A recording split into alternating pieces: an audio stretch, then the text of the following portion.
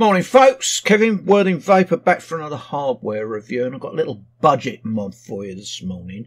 It's the Sinuous V200 from Wismec. Not a bad little thing. Watch this. I'll be back with you guys in just a tick.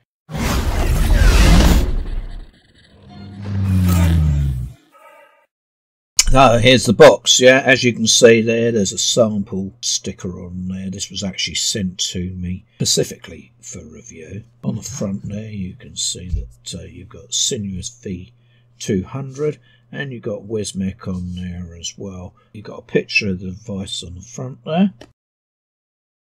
Okay, so um, it isn't actually in the box, but uh, um, you've got one of these paper sleeves over the top there. So, right, here's the uh, the actual tank and the mod themselves.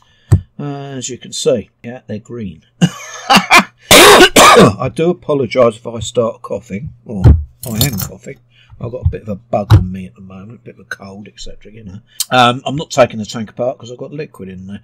Uh, but uh, it comes in four parts: the top section here, the tank, and the fill port cap. Okay open. There you go. There's the uh. That's all in one piece. You've got uh, inside the tank there. You've got a, a stainless steel chimney section. If you can, I don't know if you can see that down in there. There you go.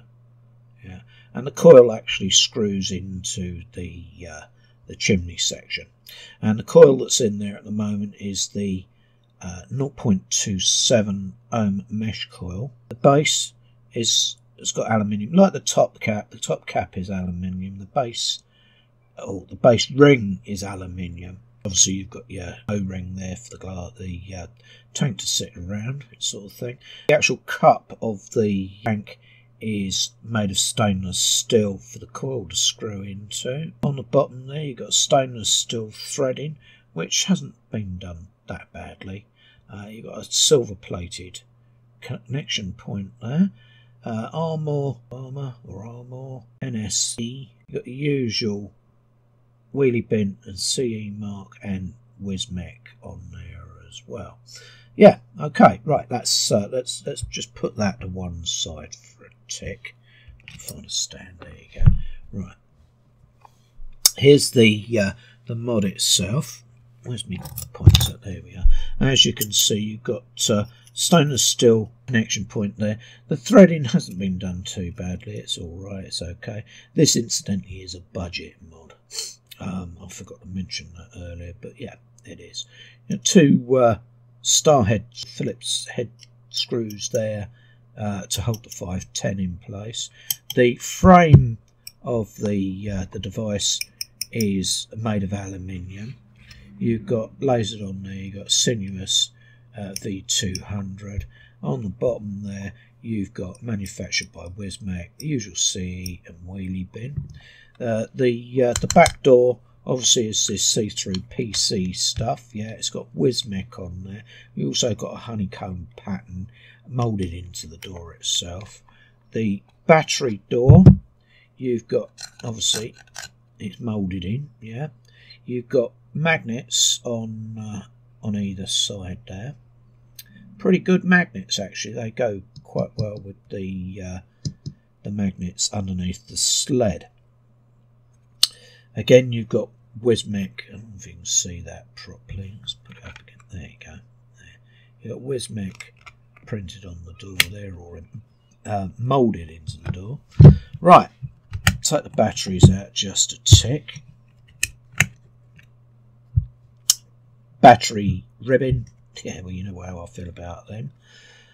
You've got uh, actually Wismec. I will give full marks for this time because they've actually listened to reviewers um, and they've uh, they've put the battery indication marks in white on a black or a dark background. Yeah, which is fine. That's great. I like to see that. It's it's it's good. I, I don't know whether it'd be the only one that they do like this, but yeah, it's nice to see. Uh, gold plated connection points at the, there and gold connection points at the top. Um, yeah, the sled is very, very clean, held in again by uh, uh, Phillips head screws. Yeah, that's fair enough. Right, let's just pop these batteries back in.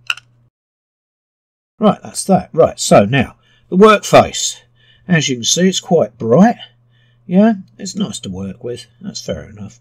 You got all the usual things on there. You've got your ohms, your volts, your amps, and your wattage if you so desire to go into wattage. This does actually do temperature control. um, yeah, you got your uh, you got a stainless steel fire button on there. You got stainless steel adjustment buttons. You got a, a micro USB. Looks like a little face that does, doesn't it? you got a micro USB there for charging and updates. Um, the uh, Wismec actually do suggest that you take your batteries out of this to uh, to charge it and use a standalone charger, which is fair enough. Right, let's have a look at the menu. One, two, three, and it'll get you into your uh, wire VW, nickel, titanium, stainless steel. Then you've got your M1, M2, M3, and then you go back to variable watts. That's fair enough. So I'll, I'll stay in variable watts because the coils that come with this are actually very cancelled. Right, hold your fire button down and uh, one of your adjustment buttons,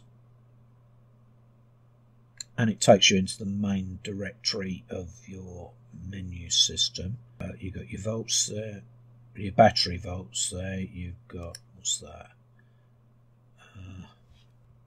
You got your logos, uh, yeah. If you want to change the logo, you can do that via the website. You got your preheat there. So, yeah, power duration and exit. Stealth mode. That turns it on, turns it off. Well, I want to keep it uh, off. So, and that one is your puff amps and time. So yeah, I keep it on amps. I'm not really worried about puff or time that it's been going. Okay, so there we go. Back to uh, back to the main screen.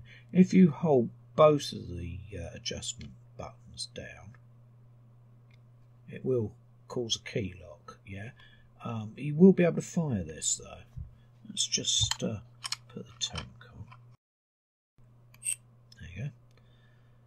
So uh, it's locked, um, but you can fire it. There you go, unlocked. Down to 50 or whatever. There, right. That's basically it. Right, okay, let's uh, let's go back up top. Give this a bit of a, a toot, then I can give you my thoughts on the uh, on the device itself. See in a tick. Well, that was a quick look at the uh, the the Sinuous V200 kit, yeah. Uh, it's all right. It's okay. It's a budget mod. It's not too bad. Actually, there was one thing that I didn't show you while I was down at the table, and that was the airflow for the tank. You've got, you've only got one slot, yeah, on either on, on one side of the tank, and you've got, if you could just see that, you've got two air, uh, two dot airflows there for mouth to lung, and you've got a wide open slot there for direct to lung. Right, I've got this set at 50 watts. Let's give it a two. Not bad. Ooh. Blimey, O'Reilly. Um, yeah, not bad, not bad at all. Now let's just bring up my notes and just have a, a quick uh, remind myself, like, because I'm getting old, you see. You never remember things properly. As I said, I've got the uh, 0.27 ohm coil installed in this, um, and I filled it with. I've don't know whether I showed you down at the table or not, but I filled it with candy cane from uh, Dr. Frost. It's the original blend. Very nice, one of my favourites helps me throat as well. So, right, let's uh, let's uh, do, do, what I, I, I, did from a written review. 25 watts, very fast counter on this. One airflow hole open. Good flavour, very good flavour. Vapour production is a bit disappointing there for me. Open that up to two airflows and bung it up to 30 25. That's a bit better. It's a bit better. Um, the the the, the flavour is still pretty good, although it's it, it's still extremely tight. And I'm not a mouth to lung uh, a vapor these days. There, there you go. Anyway, uh, 45. Open the airflow up for the direct to uh, uh, lung slot. Yeah, open, I've opened that direct to lung slot right up. Oh, my throat is terrible today. It really is. Yeah, that's not bad. Not bad. The flavour's pretty good on that. So we'll bung that. I, I, I've been vaping this about 55 or 50 to 55 watts. Yeah, I'll put it on 55 anyway. There you go. Oh, decent amount of vapor from that tank. Now, as I say, uh, the, uh, the the coil itself that's in this is rated at 60 watts. Yeah, I don't like pushing the coils because I don't I don't really want a burnt taste to me gob. But uh, um, 60 watts is, is fine. It's fine. Uh, I'll, I'll I'll do that. Decent amount of vapor from it. The airflow is very, very swishy on it. It's, it, it's quite good. Right now, I put it up to 65, and to be quite frank, I took a few toots at 65, and I was getting splashed back into my gob, and I'm not willing to do that this time, but, uh, oh, I don't know, sod it, why not? Yeah. Ah. I don't like hot splash back in my mouth. I'll put that back down on 50, which is uh, where I like it anyway. I did test this with uh, an RDA uh, with a stainless steel coil in it, and it works perfectly well on uh, on on temperature control. That's that's fine. I mean, I uh, I, I uh, dropped the uh, the wattage to 65. Um, yeah, the cloud was fine. The the flavour wasn't too bad either. Yeah, right. Higher watts. Uh, with the drop dead attached, I uh, I whacked the wattage up to 100 watts, well outside my comfort zone, of course. But uh, yeah, because I've got micro lungs, you see,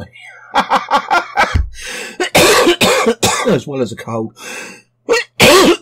At higher watts, I found that uh, when the unit got warm, obviously you're gonna get heat transfer back down from your RDA to your mod. Right now, I found that that fire button sticks in. Granted, I was chain vaping it, but it stuck in. And the only way that I could get it out was by generally just flicking the darn thing. Yeah. It is a problem with this mod. It happened three times in an hour to me. Well, that's worth mentioning, I suppose, yeah. While the tank and the mod themselves work great as a pair, separately come to that, I think that uh, if, if they're gonna give you a mesh coil, it ought to be a bit low, especially as this is a 200 watt device. If they're going to give you a, a, a, coil with it, make it a lower ohm coil, Wismec. Uh, I couldn't test the capabilities of the, uh, the the unit out with that coil. 65 watts or 60 watts rather as a as an upper limit on that coil just isn't uh, it, it, you know well, it's not right. It's not uh, not playing cricket, if you know what I mean. Hence the reason I did the testing with an RDA. The slide fill port, it's all right. Yeah, it's fine. But I have noticed while taking this off of the uh, the unit or changing that uh, airflow on there, the slide port does start to open.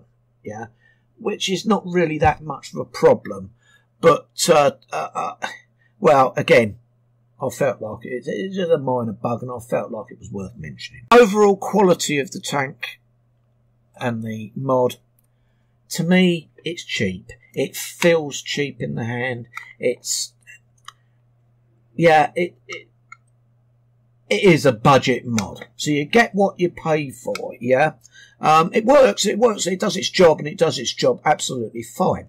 But to me, it's got that tacky, cheap feel to it. Uh, anyway, my pros and my cons. The tank's okay.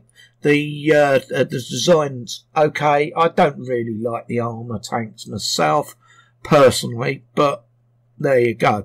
Um, you get a fair flavour from it, uh, fair vapour quality from it. The uh, uh, the mod quality and design is okay, um, although as I said, it's a little bit cheap. Yeah, um, or it feels cheap rather.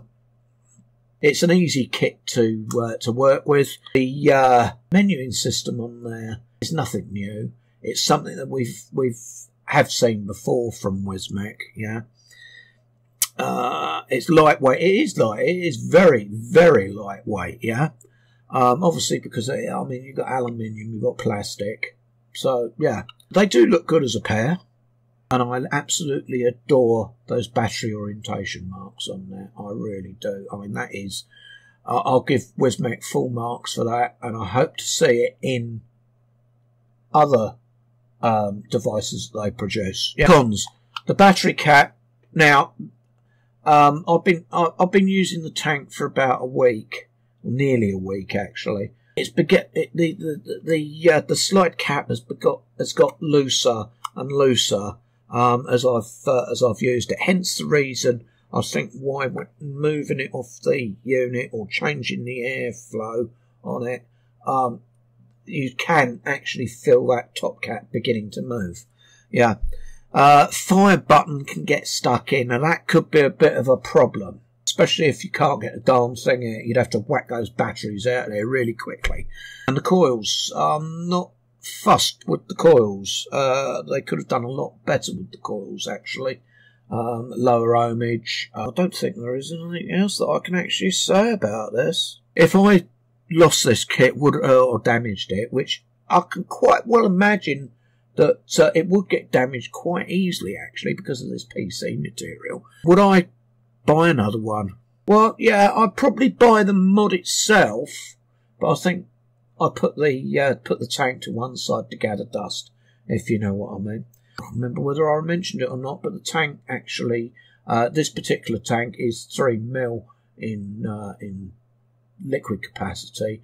In the UK, when it becomes available, it will be 2 mil. Okay. Anyway, this has been Kevin from Worthing Vaper. Thank you so much for listening to me warble on and coughing. yes, I've got a cold. Deal with it. I've got to. right. I'll catch you guys on the next one. Not sure what it's going to be, but I'll catch you on the next one. Cheers for now. Let's give it two out.